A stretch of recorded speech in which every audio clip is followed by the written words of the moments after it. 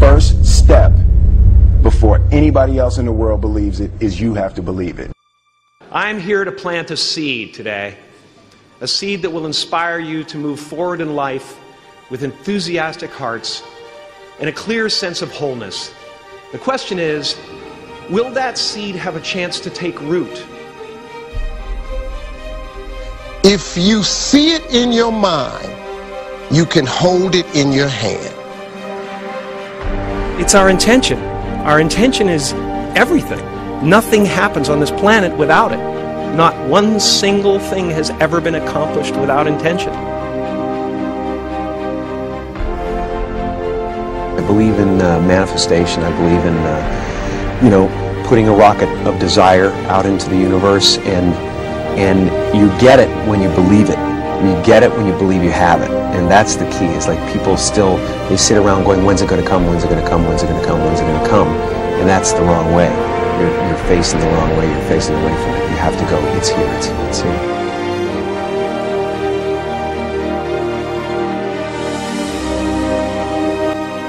Two shows a night, seven nights a week. Jim virtually lives in nightclubs.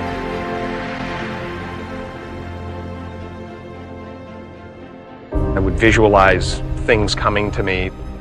I wrote myself a check for $10 million for acting services rendered, and I gave myself uh, five years. I dated at Thanksgiving 1995. Just before Thanksgiving 1995, I found out that I was going to make $10 million on, I think it was Dumb and Dumber. Insane belief in my own ability to manifest things. Insane belief, you know, that I think it's ultimately complete sanity. But I believe we're creators, and I believe we create with every thought and every word is every moment is pregnant with the next moment of your life.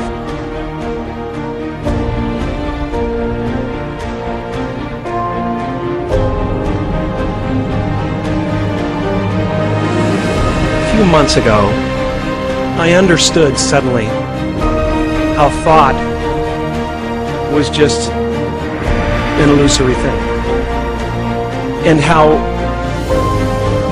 thought is responsible for, if not all, most of the suffering we experience. And then I suddenly felt like I was looking at these thoughts from another perspective.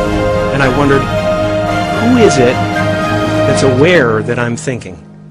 And suddenly I was thrown into this expansive, amazing feeling of freedom from myself, from my problems.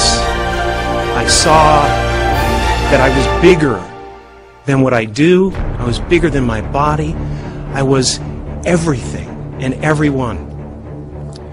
I was no longer a fragment of the universe. I was the universe.